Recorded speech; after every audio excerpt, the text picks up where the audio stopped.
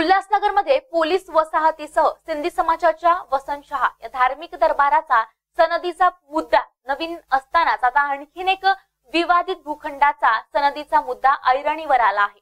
Ulhasnagar camp क्रमांक पाच मधील प्रसिद्ध जयबाबा धाम ट्रस्टच्या जयबाबा लॉन्सची सनदची सीडी प्रांताधिकारी जगतसिंग गिरासे यांनी काढल्याचा आरोप केलाय. उल्हासनगर महानगरपालिकेचे राष्ट्रवादीचे गटनेते भरत गंगोत्री यांनी या संदर्भात आमच्या प्रतिनिधींशी बातचीत केली आहे. पाहूयात ते काय म्हणताय उल्हासनगर शहरातील पोलीस वसाहतीसह उल्हासनगर पाच येथील वसंतशाह दरबारीच्या सनदीला घेऊन उल्हासनगर शहराचे प्रांत अधिकारी जगतसिंग गिरासे हे आधीच वादाच्या भोवरात आहेत. त्याच क्रमात आता पुन्हा एक बाब समोर आली आहे जी म्हणजे उल्हासनगर पाचच्या अंतर्गत असलेले जय बाबाधाम आश्रम. ची जी जागा आहे. याची सनद इश्यू केल्याचा आरोप करत आहेत उल्हासनगर महानगरपालिकेचे गट, राष्ट्रवादीचे गटनेता भरत गंगोत्री, जे सध्या आपल्यासोबत उपस्थित आहो- आहेत. हा पूर्ण विषय काय आहे? हा पूर्ण मुद्दा काय आपण त्यांच्याकडून जाणून घेऊयात. सर, सबसे पहले तो आपका स्वागत है. हमें बताइए कि एक के बाद एक ये जो खुलासे शहर में हो रहे हैं, खास करके जो हमारे प्रांत अधिकारी हैं, जगत सिंह गिरासी उनको लेकर और और एक ये मुद्दा जो सामने आ रहा है, इस बारे में आप क्या कहो? जगत सिंह का गिरासे साहब का तो मैं इतना नहीं बोलूँगा। मेन है जो सतपाल सिंह जो शुरू से ही हर एक के दूसरों के प्लॉट में घुस के वो प्लॉट कब्जे करने की कर रहा है। उसने कुछ लूपोल निकाल के, भाई सरकार के प्लॉट है, वो प्लॉट के थ्रू भाई अपने नाम पे चलाने के कर रहा है। और जितने भी प्लॉट उन्होंने आज तक गवर्नमेंट से लेने के किए वो सब के प्लॉट के ऊपर प्रॉब्लम चालू है। अभी एक दूसरा ट्रस्ट है जय बाबा धाम का। उनका खुद का प्लॉट है जय बाबा लॉन्स, जो गांधी रोड पे आता है। उसका भी उन्होंने कुछ दिन पहले सीडी इशू करवाया है।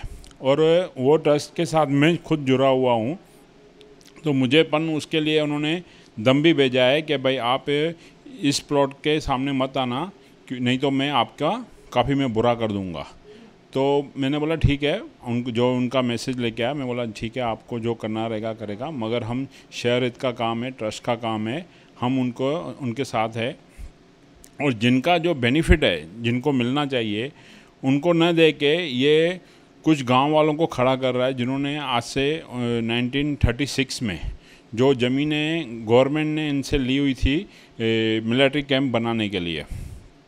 और उनको वो टाइम का मुआवजा मिला है। उनके बाद उन्होंने गाँव वालों ने दूसरों को भी ज़मीनें बेची है वो टाइम पे कब्जा करके।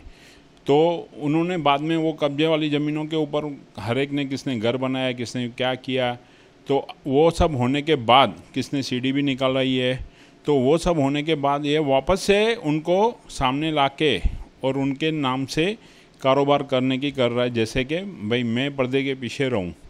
मगर अभी उनका चेहरा सबके सामने आया है, शहर के सामने, और इस तरह से उन्होंने उनके कार्य कर रहा है। तो ये रुकने चाहिए और ग्रासे साहब को समझना चाहिए कि भाई, ये ही आदमी के डिस्प्यूट क्यों हो रहे हैं? दूसरे भी शहर में यही काम कर रहे हैं, मगर उनके डिस्प्यूट नहीं हो रहे।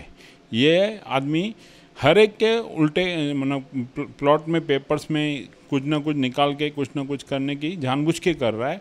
और कुछ प्लॉट ऐसे है जो हार्ड प्लॉट है शहर के अंदर। अभी जैसे जय बाबा लॉन्स है, वो इतना प्राइम प्रॉपर्टी है अब वो प्राइम प्रॉपर्टी का भी इन्होंने सीडी निकाला अभी वो भी इशू चलने वाला है। हम्म। सर, हमने ये भी सुना है कि जब आप प्रांत कार्यालय में जाते हो और किसी चीज़ का आरटीआई डालते हो, इसी से संबंध में प्रॉपर्टी से संबंध में तो आरटीआई मिलता नहीं है आधी अधूरी इन्फॉर्मेशन मिलती है, इस बारे में क्या कहो देखो उसके लिए मैंने अभी तक अ, कोई किया नहीं है। बाकी मैंने सुना है कि भाई आर डाल रहे हैं तो उनको जवाब नहीं मिलता है और उनको आगे जाने के लिए बोला जाता है कि आप आगे जाओ कंप्लेन करो। ये सुना है। मुझे खुद का प्रैक्टिकल नॉलेज नहीं है तो मैं इस पर ज़्यादा नहीं बोल पाऊँगा। सर शहर में भूमाफियों का की जो ये बढ़ती हुई मनमानी है और उसको कहीं ना कहीं प्रशासन का सपोर्ट सीधे सीधे नज़र आ रहा है। तो आपको ऐसे नहीं लगता कि इसी वजह से प्रशासन का सपोर्ट, इसी वजह से भूमाफियों का खौफ शहर में बढ़ता जा रहा है?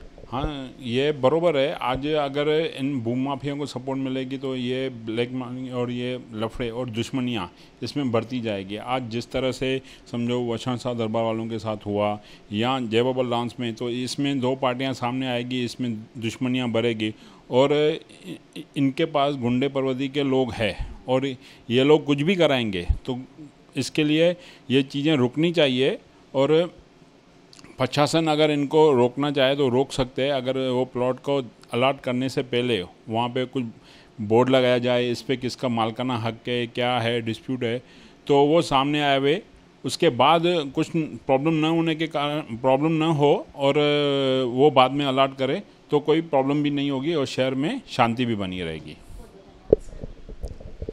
एकानंतर एक शहरातील भूखंडांच्या सनदीला घेऊन होणारे वाद ज्यामुळे शहरातील कायदा आणि सुव्यवस्था हा नक्कीच भंग होत आहे.